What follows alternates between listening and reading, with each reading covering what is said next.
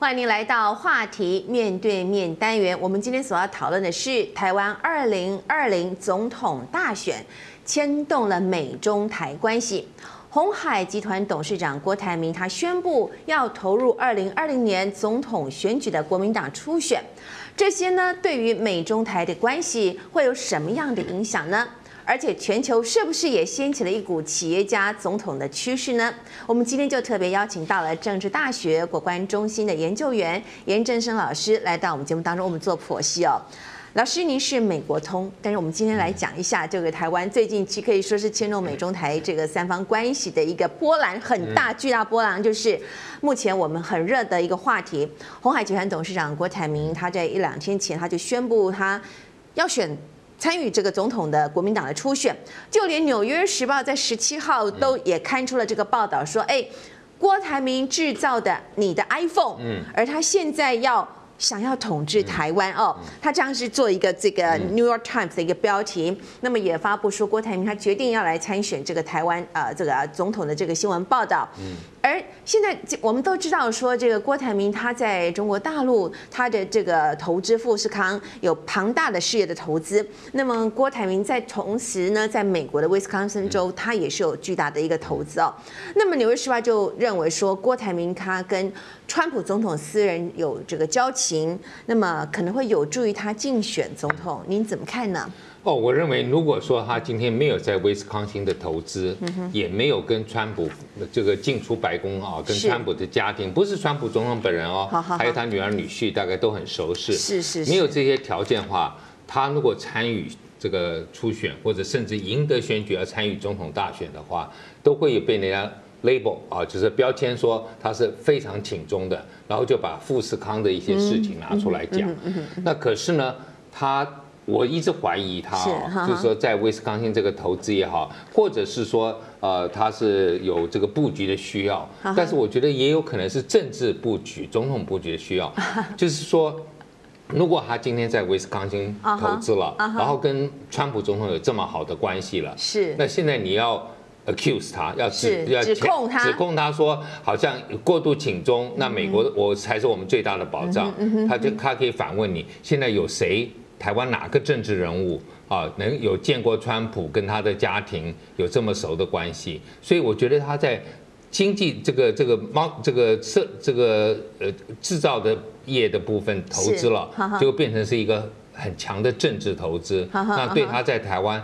可以让一些认为他请中的人，他有一个比较强烈的说辞来辩护。哦，其实呢，这我们记得说郭台铭他其实是两三年前他投资威斯康星州的时候，其实呢几千亿的投资，其实我们在此同时也关注到，他不止在美国投资，他也因为他的事业体呢大部分是中国大陆，所以他也必须要承诺等值金额的投资。在这个中国大陆二零二五计划，所以所以我们才看到，就是说，不只是你看他见过川普啊，这个《纽约时报》好像也提到，就是说，哎，他在广在这个大中国大陆也带这个李克强去参观富士康，是啊，所以他跟大陆的这个这个上面的关系也是一样的好。那我我一直认为，就是说，川郭台铭出来，本来大概台湾应该是最反对他的，就是你郭台铭富士康在大陆。血汗工厂啊，可能对环保或者说对这个劳工啊，并不是那么照顾，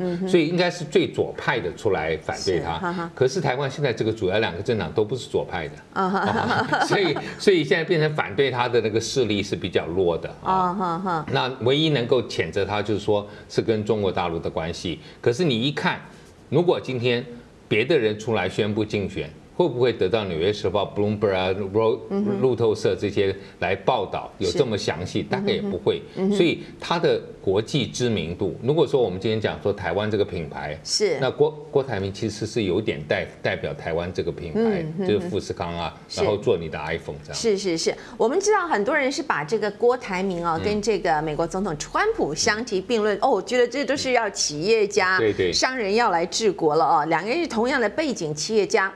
以往呢都是传统的政治人物在竞选，而且大部分的总统几乎都是有法啦、嗯政治的背景啦。但是川普就是纯粹的一个企业家，这个总总统出身。那么现在就连啊、郭台铭他也宣布要参选。老师，如果说哈，我们从这个川普的这个例子上来看哦。企业家当上总统，对于他们的施政是不是一个加分呢？因为就是我们都觉得说，哎，这是一个国家的 CEO 嘛，哦，这样子是不是？您觉得现在全球是不是吹起了一股这个企业家治国、总统、企业家总统这样的一个我觉得，趋势呢我？觉得川普当选总统，当然让这个郭台铭心这个蠢蠢欲动，觉得说，哎，如果川普也可以，我也应该可以。可是同样的，像我自己做美国政治的研究，就是你今天一个企业家的总统，没有政治的背景，你面临到的是我们讲建制派。建制派建制派 establishment 哦啊，对不对？就是他们已经呃习惯于一些政治的运作。那我们也知道，所有的政治其实很大一部分是妥协。嗯啊，那在川普的这个领导之下，他其实根本没有太多妥协。他他等于是把支持他的群众，他的基本盘压着，让共和党的这些。议员们不敢反抗他，因为如果你要反抗他，他我就在你的选区找一个人来挑战，在初选就挑战你，所以这个是他的一个作为啊，就是挑战建制派，然后不妥协。当然不妥协也有很多问题，所以我我我我认为，如果今天郭台铭出来，以后也会面临同样的问题，就是是。当你一个大老板像川普、像郭台铭，他们在企业当中一言九鼎啊，是他们讲的什么话就是就是命就是指令了啊，所以应该都会去做，照着去做。哎，对不起，政治还有很多的妥协，嗯，啊，那我觉得说这个方面我们不敢预测说会不会他一定能够成功，但是绝对面临的挑战要比一般的政治人物。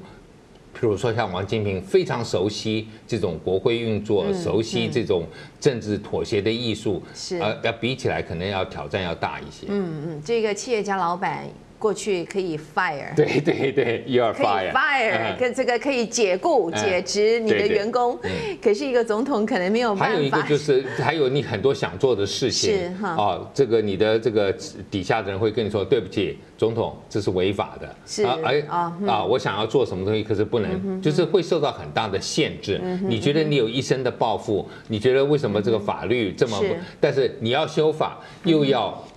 靠你的国会来帮你修这个法，嗯你才能够有效执行你的政策。所以这一些确实是有一些妥协的。过去我们来看看世界上有哪一些国家的元首是这个企业家出身哦。当然，就是我们现在大家在众所皆知，这个川普大概是就是现在可以说是最出名的。那么其实美国历历历年来也是有一些企业家的总统没。有，就是说没有选上。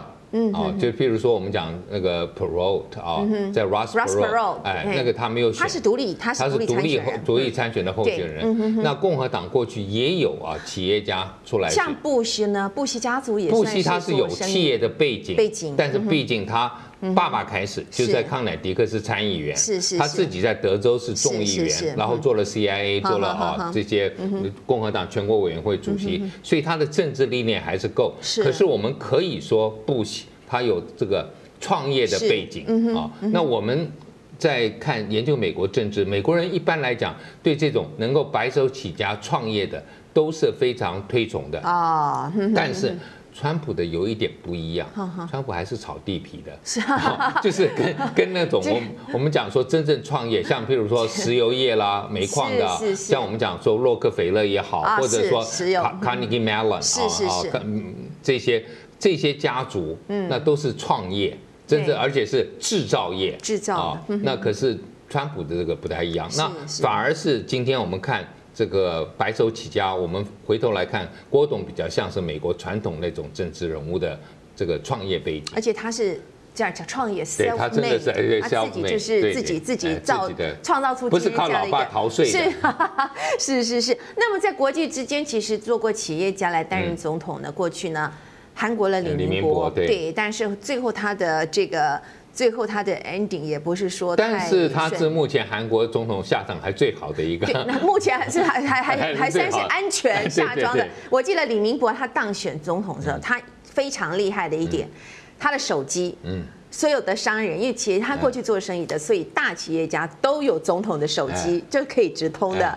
我们看这个未未来这个郭董以后会不会变成郭总哦？他可能也是目前有一些企业家也是有可以手机跟他直通的，不知道以后会不会有这样这么一刻。哦还有在就是这几天，也就是在呃就是竞选连任，应该也自行宣布当选的印尼的总统。Jokovic，他自己也是算是一个做企业出来的，他自己是经营这个木材生意起家的哦。好，那我们来看看，就目前来放眼亚太这个美国的这个印太的战略。现在这个印太这个字，以前讲亚太，现在讲印太的是最红的字嘛？哦，这个印太的战略跟中美之间摩擦、些紧绷的这种关系。那么对于美国跟中国大陆来说，这个台湾的二零二零年的总统大选至关重要哈。那么老师，您觉得说这两边？其实都有各自支持的总统人选。好，有的人就说：“哎，你你觉得说，有有人各种论点不同，但是像这个郭台铭呢，他那天在参加这个呃，就是呃呃台湾关系法四十周年的某一场 活动的时候，他就当面就是质问，就是说美国呃 A I T 的理事主席，就是说美国有没有？”这个比较主义的，对于台湾的总统的候选人有比较主义？我们其实我们看这个画面上，我们看到这个一直在跟随这一次呢，可以说是代表着带领了美国有二十五位的这个国会访问团一起来参加台湾关系法四十周年以及这个 A I T 的这个的这个总部的这个成立的典礼。我们看那个高个儿，Paul Ryan 就是美国的前任众众议院的议长。众议对，就我们经常过去，再不过几个月之前，看着这个众议院的议长，就是 Paul Ryan，哎对，很帅。这个他今年才四十九岁，嗯，他以前看他总是站在川普的旁边，众议院议长嘛。对。不过因为这一次今年的这个呃，就是呃，就是等于是国会选举，那众议院他就是。众议院是变变成 Democrats，被民主党，所以现在这国国会上最有权力的这个女性 Nancy Pelosi 很凶，所以她就没有没有在，她她也根本连做都没有做了。对，她就是等于她就辞掉，她没有再竞选。对对。对，其实她是来自威斯康星州，对，没错，她是威斯康星第一选区的，而且她曾经担任过众呃民主呃共和党。过去的副总统候选人。对对对，像那么年轻，所以她这次二零一二年罗姆尼的，我们就是其实，在郭台铭他宣布要参加国民党的总统初选的时的前几天，我们都有看到他跟郭台铭有私下夜会，嗯，哦，所以就我们很多人在想，哎，会不会是他来代表白宫方面或共和党方面来传递什么样的讯息？大家其实都很好奇。老师你怎么看美国跟中国大陆对于台湾这次的选举，他们有没有各自比较？支持的比较喜欢的候选人，我我认为美国对美国来讲，他经历了经过了三年多蔡总统执政之后，他们大概也认为，就是蔡总统在二零一六年是。那个时候选举的之前所提出来的口号维持现状，大概就是不会改变。是那这个路线是美国可以接受的啊，不会破坏到这个两岸的关系啊，到一个军事。这个剑拔弩张的地步，因为他不会宣布台独嘛，啊，那可是对其他的候选人来讲，美国可能对赖清德还是不完全放心，是是是，然后对韩国瑜也好，或者对柯文哲，甚至是对这个郭台铭，我认为他们要更多的了解。那。到底会不会对影响到冲击到美国的政策？就是说你跟中国大陆的关系，或者你这个将来金德可能比较尖锐的台独的立场，这些可能都会让美国这个希望看到的，我们讲说维持现状 （status quo） 会不会改变？那这个是美国在摸索的。但是我们又从这个 Paul Ryan 跟啊郭董的这个关系来看，可能。包括川普，包括这个美国部分的这个比较这个高阶的政治人物，因为跟红海有接触，跟郭台铭有接触之后，可能大致了解他的一个状况，就是还是说做生意跟大陆做啊，可是呢，跟美国还是会维持相对的一个比较啊。紧密的一个安全的关系。是老师，你有没有注意到说这一次呢？呃，台湾几个已经就是有这个感觉是非常呃，就有这个动作比较频繁，就是动作比较明显的呃有意的这个参选人，他们不是就纷纷都要到美国去？很多人都说，哎呀，你要选台湾的总统，要先去美国取经，好像要去这个去被接受这个口试一样哦。但是就是说，当然我们看到了这个白色力量的柯文哲市长，他也去了美国，然后呃，纷纷就有人，包括前一阵子那个呃，就是像桃园市长郑文灿都去了哦，他们很多人都说他是未来民进党这个这个这个这个早新潮流派的这个北明日之星，他也去了美国。二二阿哥，二阿哥，是 是是。我们有没有关注到为什么韩国瑜这一次去了美国？嗯，华盛顿完全没有声音呢？哦，我觉得他也没有去到华盛顿，华盛顿对他也没有任何的评论。因为我觉得，毕竟他还没有宣布他要选啊。那然后呢？如果说今天他去了华府，反而会被人家会被这个我们这边执政党认为说，美国是不是故意让他去华府啊？当然，柯文哲也去了，可是因为他一直讲不选。啊，所以这这个就是一直不说不在他考虑的范围之内。假使他去了华府，大家会怀疑他说你是不是其实是在想选？那我们觉得说台湾每一个候选人好像都要到华府，或者说呃到美国去让你刚刚讲的 interview 面试。其实这有点类似像美国他们总统。提名人这个出炉之后，他要选择他的副总统，他有一个叫 vetting process 啊，就是要要要要面试啊，所有的人啊一个一个问。那我觉得好像我们台湾有点像是美国的副总统候选人要被总统。候选人来来面试一样，是是都要经历，就是说他们有些可能真的是不了解，譬如说像韩国瑜是一下窜出来的，所以对美国对他不了解。那柯文哲可能美国觉得说，哎，他的两岸政策非常模糊，我们要要搞清楚一些。是是，那反而是赖清德比较清楚了啊。那你你不用来，你也不用来，是不是？我知道了。那蔡英文的状况就是非常是非常，呃，他们美国很清楚，觉得说，哎，至少他不是一个 trouble maker，是这个是我想美国可以接受。很配合，哎，蛮配合的，军军售，对对对，很配合。那就是如果是是郭台铭，他真的是宣布参选这个参加这个国民党的总统的初选，那他也不用像其他的候选人，呃，比如说就未未来有志有志竞争者，哎，还要自己去了白宫，在某一厅，嗯。老师，您去过白宫对吧？呃，去过。我也去过，那很容易有拍照片，对不对？很容易，我也可以在脸书上公布的嘛。那这个郭台铭他就也不用做这么一个动作，他白宫自然他就全台湾，可能只有他唯一跟美国的总统曾经，他真的是可以，就是说跟川普大概说直接通电话，跟川普的女婿是。这个 Jared 啊，通电话，可能甚至跟他的女儿都可以。嗯，是没错没错啊。好，我们是最近这个台湾政坛可以说这个讨论的这个热热度非常高，那就是。台湾关系法四十周年。哦，那么美方这次就派出了我们在这个画面上看到的这个 Paul Ryan，他就是过去的众院的议长。众院议长呢，在美国是什么样的一个位阶？第三号人物，第一个是总统、副总统，再是众院议长，他是前任，前任的，因为他是民主党，民主党，共和共和党，共和党是这么的这个年轻啊。那他们他来台湾的，当然就是。呃，还是这跟这个蔡英文总统有这样的一个会谈了哦。他率领一个代表团，就是有二十五位的这个就是国会的这个代表团来到台湾了。那么呃，也特别呢，台湾的这个外交部门呢，也特别选在呃当天就这个美国在台协会台北办事处，就是 A I T 呢，就选在台北的一零一大楼，这个好像也是台北的一个象征哦。播放那个纪念台湾关系法的影片，甚至还有这个灯，呃，这个就是放我们过去在看。烟火、烟花的一个地方，有这个灯光的设计啊。那么很多人都认为说，这位这个来自也是威斯康星州，也是美国啊，我们呃这个郭台铭郭董事长他这个美国最大投资的这个威斯康星州，他来自那个州。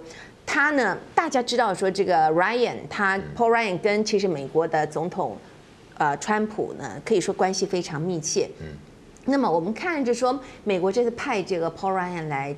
变成一个是代表团 delegation 率领整个 delegation 来访问这个来庆贺台湾关系法四十周年，是不是代表美国对于台湾的这个重视有日渐的？我觉得当然提升。过过去啊，就是我们讲说前任的，对不对？美国前任总统来台湾也很多，你也访问过啊。是是。那前任的副总统最近啊，就是前你也来过，但是都不是代表。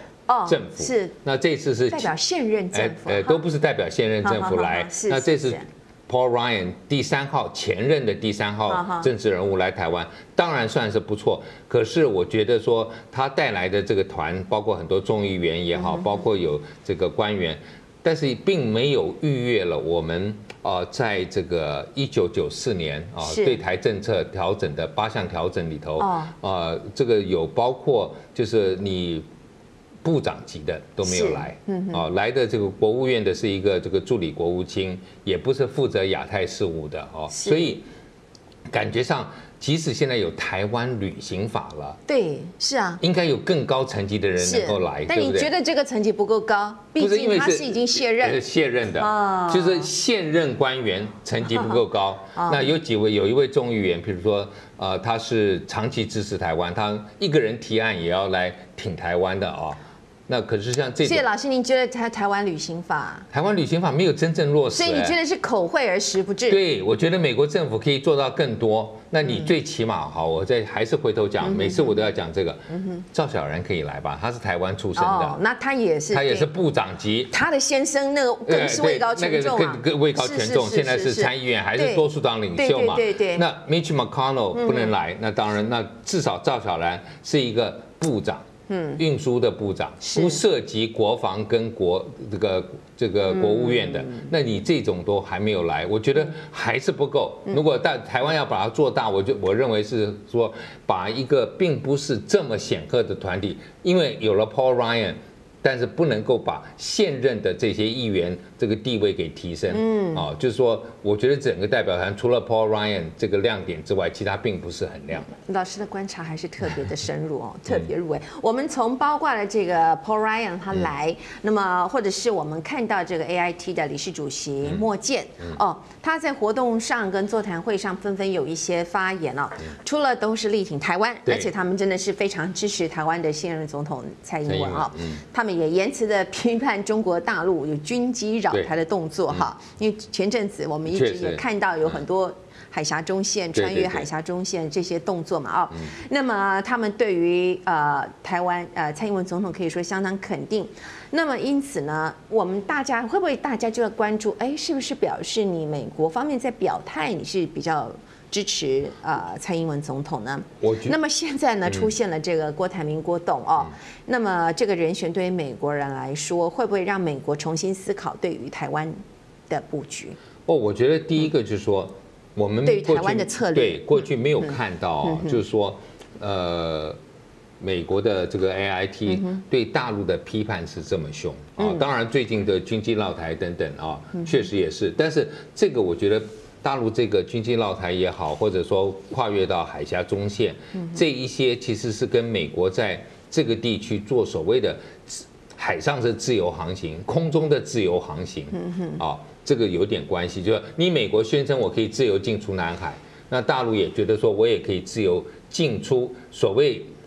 台湾海峡的领空，只要我不进入到台湾的领空，所谓的海峡中线呢，只是一个默契啊，所以我觉得这个是有一些跟美国的较量。那美国当然不是很开心，但是如果说我们今天看这个，如果说郭台铭要出来选的话，美国会不会担心说台海这个之间，美国可能会认为说，哎，他上来的话，第一个可能因为他跟李克强也好，习近平也好。他在大陆的人脉关系大概不至于啊跟大陆会起冲突，嗯。那因为他事业也在那里，但是呢会不会太请中？可是在这个同时，他又有在美国的这条线，那只要川普如果继续当选总统，啊或者因为台湾的选举在美国之前嘛，嗯，所以川普还是总统，那从。共和党现任总统的立场来看，台湾选举在美国之前，台湾是二零二零一月十一，他们是十一月，嗯。啊，所以差了十个十个多月，每次都是同年的，但差了差不多十一个月。那所以现在看起来，啊，确实我们就说，如果他今天出来选的时候，美国方面可能。会认为说，至少我还认得他，白宫觉得我认得他，哦，川那个 Paul Ryan 他们，国会也会觉得说，因为他是全世界知名人物嘛，他不用去美国面试，他不可能都不用去美国面试，大家都知道，那他的这个立场。呃，可能他有一句话讲说，国防不能靠美国，啊，他是要靠自自己的实力。那这一些美国国防靠和平，哎，靠和平啊，就是跟大陆相处啊。那这个，但是我我认为啦，就是美国对他的了解。绝对比美国对国防靠和平这句话是真为站在中方的立场讲的，是不是？但但是我我认为就是说，因为他在美国有投资，因为他跟川普的关系之后，他可以稍微呃弥补。可能会被人家贴上警钟标签，嗯啊，然后他如果有人挑战他，就说那你们跟川普的关系如何？你们可不可以直接跟他通电话？我相信很多人就没有办法，就无言以对了嘛。就是他今天才是真正跟，如果今天我们相信台湾很多事情要靠美国，那他是对不起他，他真的是跟美国总统是有比较密切的关系，真的是直线。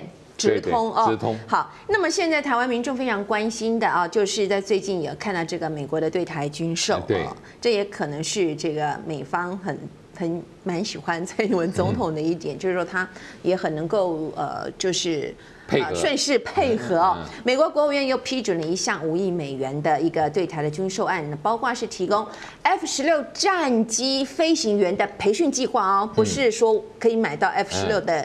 V 战机不是哦，是飞行员的培训计划跟他的后勤维护等等这些支援。那么有的国安人士就只是说，哎，这一项呢代表着台美空军交流首度台面化。老师，您是这样看待吗？而且呢，五角大厦也宣布了这项的新合约，他要。出售这个响尾蛇飞弹给美国政府所核定的二十二个国家，这其中有包括台湾。台湾啊，这响尾蛇飞弹雷神公司做所这个制造的哦。那么当中包括了台湾。老师，您觉得美国这一系列的军售的内容是代表他对于台湾提升台湾防卫力的一个承诺呢，还是也是用这个军售再给中国大陆一些？我觉得两者都有，因为刚好今年就是刚刚主持人讲了台湾关系法四十周年，我们看整个四月份呢都在庆祝这个事情啊。我们自己国内也有这个智库啊团体在在开会啊。那然后美国这个 A I T 也在做，我们呃政府也在庆祝这个东西。那最重要台湾关系法的一部分精神就是美国会提供台湾。啊，这个防卫性的武器，美哎对，足够性 sufficient 嘛，啊，那这个是美国这个在台湾关系法提讲出来的，然后也在台湾关系法里头，就是等于是可以卖给，就是为了保障台湾的安全，美国非常关切，就是虽然说有防卫性武器，防卫性武器，但是这个防卫性的武器，那在八一七公报的时候有说到说，未来美国提供的武器，无论是在值和量，都会慢慢减少。可是到了一九九二年，老布希卖了 F-16 之后，那就等于是破坏了八一七公报。但美国的说辞，我觉得也合理。他说：“他说我这个卖给台湾的武器是，如果大陆武器不变，那我就是要慢慢减了。可是大陆一路在提升，量又多了，威胁大了，所以我也可以改啊，是这样子来配合。所以这个是可以一直做的，但是。”我认为台湾关系法最重要的不是卖，当然就是说允许卖武器啊，然后我们也可以购得到这个所谓的啊防卫性的武器，作为我们一点啊，这个叫做我们讲说 deterrence 啊，就是贺阻的力量。那这一点很重要啊，而且我常常跟我们在我在大陆认得的这个智库的朋友，或者说学学界的朋友，我会跟他们讲，就是说台湾如果有一些。这个防卫性的武器，觉觉得自己有一些自卫的能力的时候，台湾跟大陆去谈的时候，才会就是觉得心里头不是空空的，敢去谈。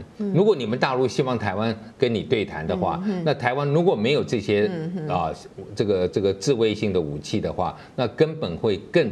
更不敢谈了，所以你们如果要谈，你应该让台湾来买哦。好，那来买，可是那个就这个郭台铭董事长他就说呢，哎，美我们的国防不能靠美国啊，要靠自己了，自己防卫要靠和平了，而且他还说这个美国竟是拿一些旧的武器来卖给台湾哦。老师，你觉得美国真的是拿旧的？我觉得也不见得是拿旧的哦，但是拿美国认为它卖起来比较容易卖的啊，那。一些比较敏感的，他大概不敢卖啊。太最先进的，他一定是先给以色列啊，不会给我们。那这个倒也这也是真的，就是说我们有一些想要的东西，不见得要得到。譬如说我们讲的啊，就是说像 F sixteen，我们希望是 F thirty five 嘛，但是没有嘛，哦，那所以这一些就是有一些东西，就是美国认为可能还太敏感，所以不会卖。那他卖给人已经可能在市场已经出现了不一这一段时间之后再卖给我们，出现负评的，但是。出现一段时间以后，其实有些时候是还蛮可靠的，啊对不对？因为新的武器常常有问题嘛。你看那个波音的飞机，最新的就有问题。是是是，已经经过了长期的试车验证，它哎是可用的，这样子是不是？好。讲到美国呢，一定不能够不提川普总统了。川普总统这几天心情特别的好，对对，就昨天晚上开始。对，然后有一直发现他这个发推特，好昭告天下好消息哦。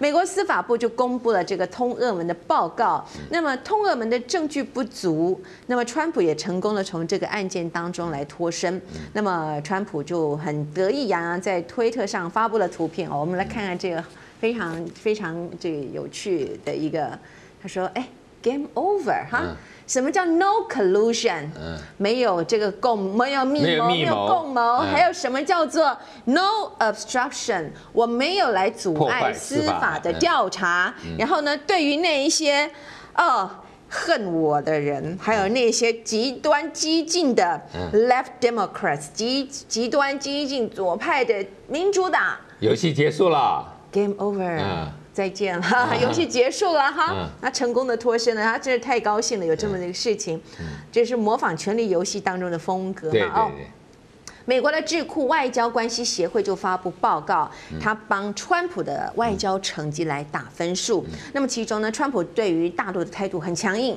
好，而且他得到了一个最高分。嗯对。对于对于这个大陆的态度，那么其实呢，哎，他。他但是他们只给他一个 B plus、B 嗯加。老师，您的看法来看，川普对于中国大陆或者是北韩的外交手段，你给他什么样的一个评价？哦，我觉得嗯就是他为什么会给他 B 加，然后 在其他地方很多地方还拿了 D 啊啊，就是说其实这个报告好像在帮川普辩护，嗯事实上没有啊。那但是在中国的议题上面，确实给了比较算是。还不错的成绩啦，B plus。那为什么会是这个？他大概他们里头的分析是说，他觉得川普把这个跟中国大陆崛起对美国的挑战，啊这样的一个残酷的事实点出来了。点出来了。嗯，让美国人不至于浑浑噩噩的，还搞不清楚还以为美国东亚病夫对对对过去怎么哎积弱那我觉得这这一点呢，那这个川普确实把它炒起来，嗯让美国正视到中国不是不是一个合作的伙伴而已，真的是一个挑战竞争者。嗯嗯，所以对，所以他这个这个外交关系协会就给他一个。那可是我觉得北韩的议题啊，刚开始起手是还不错嗯哎，结果现在你看。竟然这个金正恩说：“我不要跟庞佩后，只要 因为你旁边又骂人家是专制、对，暴君那君，那说下一次那哎哪有这个外交谈判国务卿能够不在场的？这个很奇怪，分明表分表态就是说我根本不要跟你谈了，对不对？嗯不搞不好这个竞争者我只跟老板谈。对，但是但是你不可能 不带。你看我是们总统出出访一定能带外交部长吧？是是是我们总统出访哪里能够不带外交部长吗？不可能嘛，对不对？所以也是一个任性的，对，也是非常任 非常性。任性的啊、好的，那我们今天慧眼看天下就带您深入剖析了这一次二零二零台湾的总统大选对于台湾的整个外交的影响，以及美国还有北韩的最新动态。未来还有更多的国际消息，也请您持续锁定慧眼看天下。